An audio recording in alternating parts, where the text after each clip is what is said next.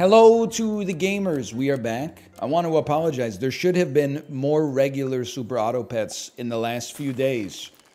But I got some kind of foodborne illness. Also, am I tinier than normal? Like, irrespective of the effects of food poisoning, I kind of felt I like to project a big frame into the camera, you know? Like, don't mess with me. Meanwhile, I'm 5'10, 171. So it's all, it's kind of like an optical illusion. But if you don't, whoa, he's been working his delts lately, huh? Hey, NL, you been working out? Yeah, yeah.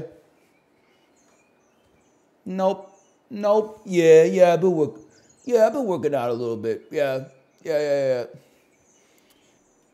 I'm a, let's not go there. Um, the world's still not ready for Kanye West references, as they should not be for the record.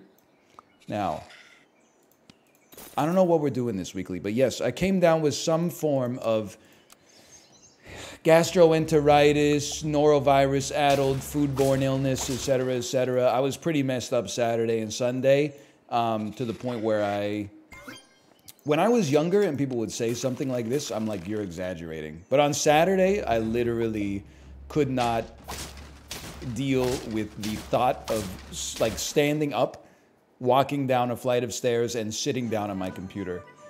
I, I had to lay down for like almost the whole day. So I might be dying. I don't know. But I feel better now.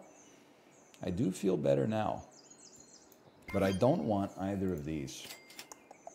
I want this. Me, when I get salmonella and campylobacter from the food store, mm, I don't want either of these. I can't send it back, huh? Hmm, that's a shame. So I don't really know what I'm doing this weekly, to be honest. We're going to figure it out together. I like this. I do know, I do know that this weekly does have bisons, which is nice to know because it means that you are not necessarily going to get a dead end if you follow this uh, Possum all the way to level three. Now, this did not go well. We were on three life, zero wins. But one more possum into a bison. One more possum into a bison. A duck into a bison. It's not good. It's not a good place to be. Call me crazy. And if you're crazy, don't call me at all. And especially, do not leave a voicemail because I will not be checking it. How did we mess up so much as a society, by the way? Have you ever thought about the fact that almost every single method of communication now is so completely overrun by spam and scams and unsolicited sales material and stuff like that that it, it's almost all completely unusable?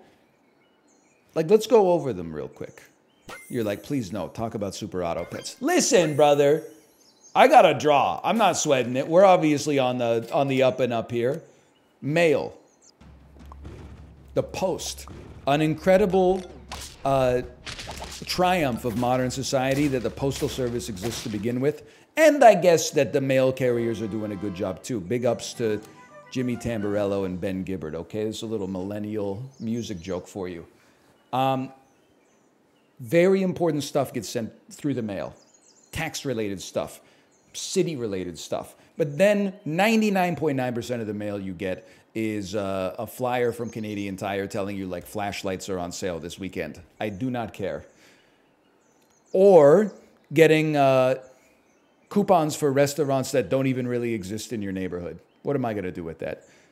The phone, perhaps the most cooked of all, uh, the number of phone calls that I get, the percentage of phone calls I get that are spam related, they don't even have the good manners these days to have a real human being hit you with the spam call. It used to be someone at a call center had to program that. Now they got robots doing it. They're even taking jobs away from the spam callers, man. It's getting crazy out here.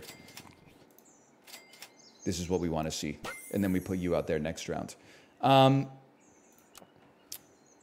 such a high proportion of phone calls received these days are scams or spam that everybody knows not to even call you on the telephone without texting you first.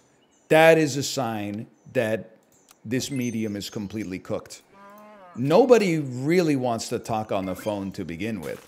Like it's kind of crazy to me whenever you I and I lived through it too. You kind of think back.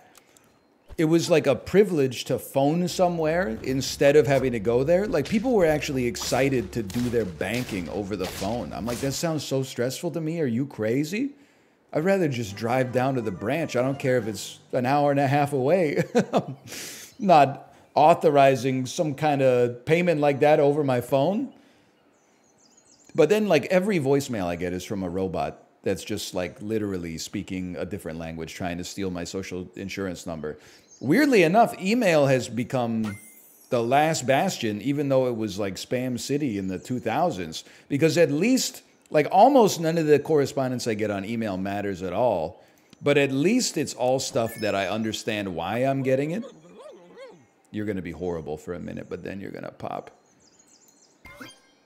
Like I'm never like, oh, why do I have eight emails in the last two days from Indochino? And I'm like, oh, because I gave him my email when I bought that suit seven years ago. Of course, that was stupid of me. That's why whenever you buy anything and the cashier says, can we have your email address? We don't have one on file. You just say, no, that'll be fine. Don't worry about it. I'm just buying some fabric. We don't need to bring paper into it. We don't need to bring email addresses and stuff like that into it. It's not necessary. I love this for me. I love this for you. I love this for me. Roll me once. Unfreeze everything but the ostrich. Okay, don't kill me yet. This run, it's only round 10. It has a chance. The ostrich can pop. I'm not saying we're getting to 10, but it doesn't. Oh my god, we're to die already. no, no, no, no. Yes. We're still alive. Freeze me, freeze me, freeze me. Give me some freaking chocolate, bro. It's not, that's as good. That's organic chocolate as far as I'm concerned. Unfreeze me. This ostrich is going to the freaking moon. The bison needs a little bit more time to get to the moon. It's 6,000 Earths away. Oh my god, their hippo is so freaking strong. It's not strong enough. Thank you, Lynx. Maybe there is a chance. Very nice. This, if anything, I would start building the idea of a second ostrich once this lynx hits the next level. I don't think anybody needs a one-up, unfortunately. It would have been a, a, a very timely purchase. I know that's a lot of rolls, but I have a plan. It's just, there's no reason to get this ostrich to level 3. It's going to max out too fast. A second one to level 1 would be more valuable. Hang on, we're digging ourselves out of the hole that we dug ourselves into. This is very nice, okay? But I need a lynx or chocolate. Come on. It's just a lynx or chocolate, bro. It's no big deal. it's just a lynx. Or some chocolate.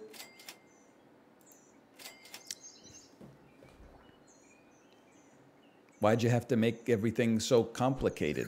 I think we'll leave it like this. I, I don't know how much longer I can afford not having a second level 2 ostrich out there. I think we might just have to shoot for the moon. Level 3 walrus, you piece of junk, you piece of junk. You princes of Maine, you kings of New England. Of course, the walrus is the great equalizer. Okay, that's all right. We, we At the point where we bought the ostrich. Ooh, Lord of the Streamers. At the point in where we bought the ostrich, we would not have expected us to do as well as we did from that point onwards. So I consider that a failure, but less of a failure than it could have been, which in its own way imitates success. Plus, I'm sick. You can't criticize me. Well, well, well.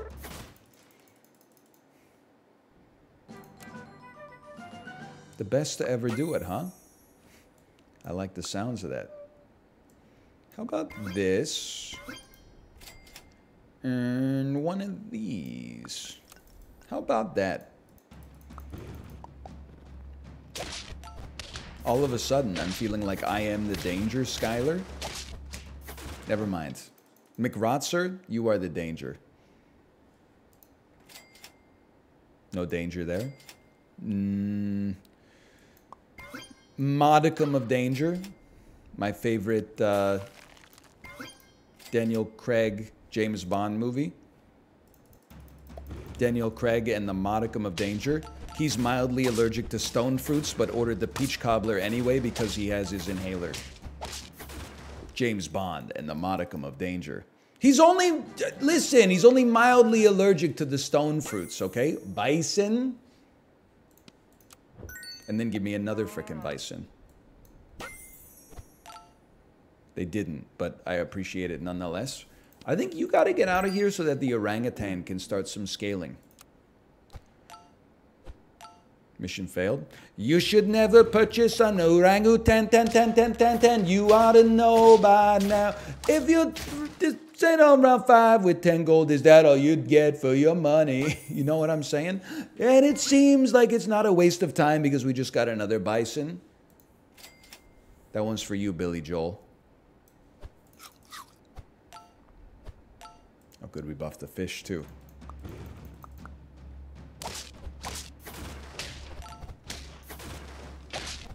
Takes a little while for the old Banther circuits to turn back on after a weekend of watching the Home Alone films as well. So just just work with me here.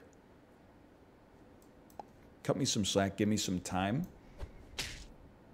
Mosasaurus synergizes with toys. You know, we do have distributed foods. I'm a big believer that the fox is not actually that good. Also, there's no foods in the shop anymore. But at least it got a little buff. Um, I don't think the Fox is as good as I originally thought that it was, but I think it's. I think you could do worse. Let's put it that way. Plus, we're we're coming from a position of strength, so why not? Salt would go okay for you, and you always buy the rightmost food. Okay, we don't want you to take a pill. Hippo could be good, but let's let's be a little bit more creative. And just being honest with you, not a big not a big believer in a lot of these units.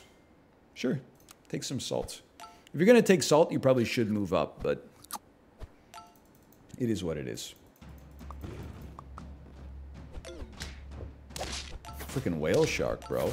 What the heck is the greatest silk moth of all time? I thought that thing was supposed to be useless from like round four and beyond. I'm going to level you even though you could have eaten it for free. Because what do you, you double the effects of it? That's pretty tempting, brother. And then I could get a lionfish popping like crazy. Still good. Sure. You're going to steal this, double its effects. It sucks that we're still saddled with the, the possum. But let's not forget what the possum's done for us, okay? We don't have to be rude to the possum. I think this has a potential 10 piece in the making. Certainly not guaranteed, but potential. This is important. You're also like an insanely great unit. You don't scale off yourself because it says friend. Otherwise, I would put the walrus, we probably should anyway, put the walrus out here in a heartbeat, but let's see your food. It's not the food I'm looking for, brother. I guess a lollipop's not really that bad.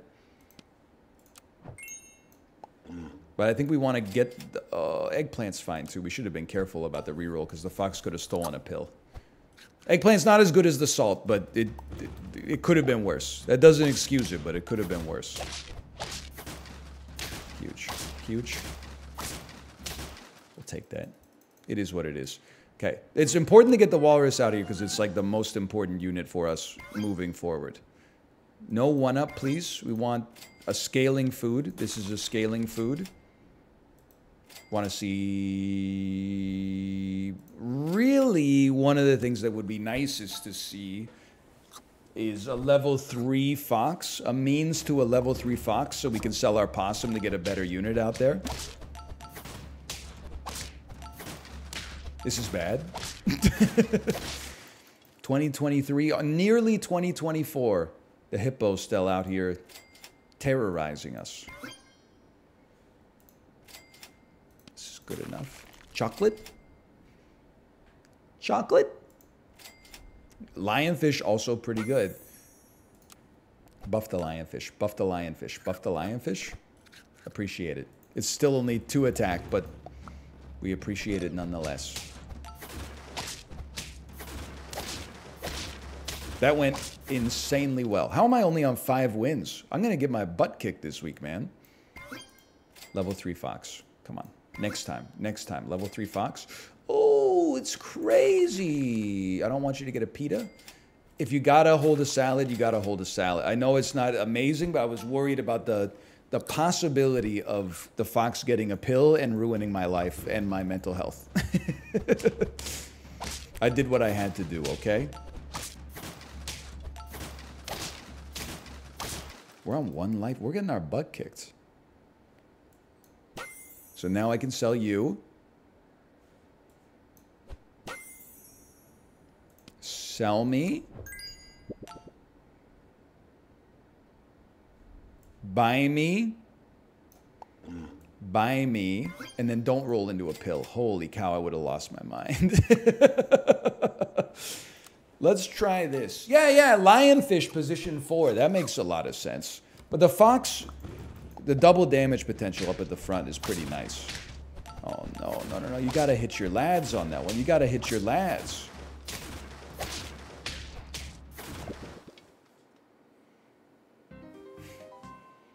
We died to the porcupine with the one up, bro. Do you know how sad that is for me? Roll me.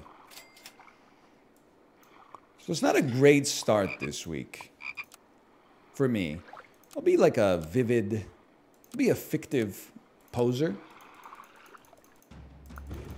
Like um, Holden Caulfield from The Catcher in the Rye. I've never read it. But I have read the Wikipedia synopsis, but I did not inhale, just for the record. Hate this. Let's let's get some levels. What do you get on level two? You trigger on sell. Okay, okay. I think there's a case to be made for me playing a little too fast. How many times do we have to teach you this lesson, old man? one more time. At least one more time appears to be the answer. Sheep me. Now we're cooking. You might as well go position one. Who cares? And where do we go from here? I actually think the flamingo ends up being surprisingly useful more often than you'd think. And we could just maybe early on survive and then stack stats on units. I'm literally describing how the game works now. Put stats on units so they defeat other units in combat. I never really considered it that way, but that's a tempting, it's a tempting strategy. I guess what I'm trying to say is that maybe this week, survive the mid game with as much HP as possible to give you the chance to really pivot into the good tier 3, 4, and 5 units. Okay, I'm just getting my you-know-what kicked early on. I got two life left, zero wins. Bad start, um, without a doubt. On the other hand, we almost have a level 3 frog.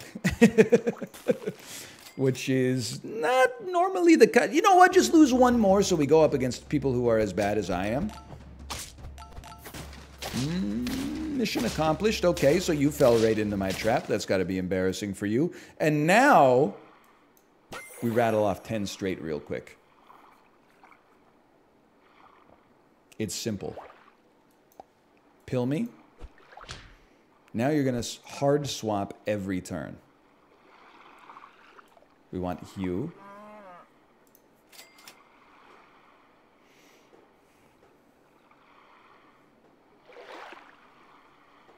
I don't really want to hard swap anything off the bison. The silk moth is probably not long for this world, so let's put their stats on the bat. I'm talking as if we're not going to lose this next round, because I we need to tell ourselves comforting lies in life to maintain some sanity in this crazy mixed up world. There we go. Sure, sheep meat.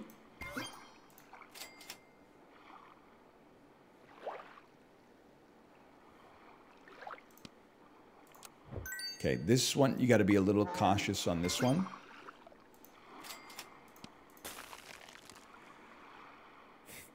It's there in principle. There's an interesting idea. I don't know if it's good, but you could use the bison, especially if it levels up, so it scales faster, to transfer a decent amount of stats onto a great unit that starts with low stats, like a walrus, for example, and then the bison can rebuild itself.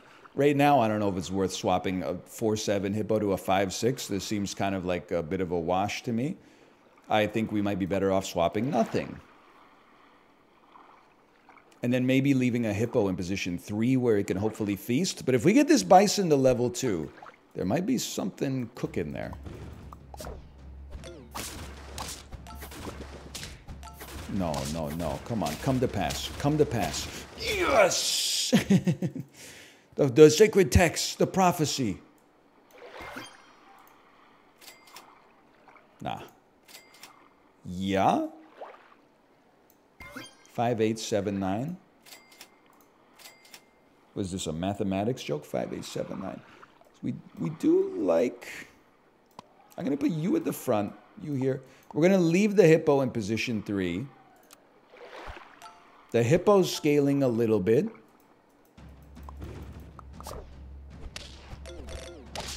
The hippo is weak.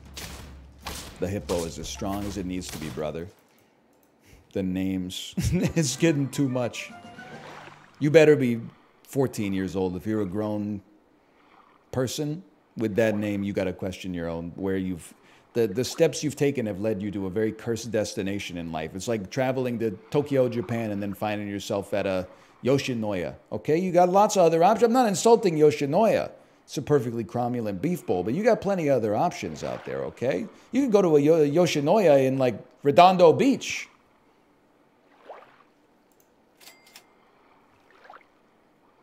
Not interested. Interested in a level? In a tiger? Sorry to you. That's more important. You're kind of tempting too. You're going to hard swap stats again. I don't think the hard swap matters. I'm, I'm perfectly content with the hard swap again. Not a, not a big deal either way. Basically, it's an equivalent exchange. Hey, don't screw me on this one. Yes! what did I say? What did I tell you? 10 piece? 10 piece incoming? What did I tell you? What did I say?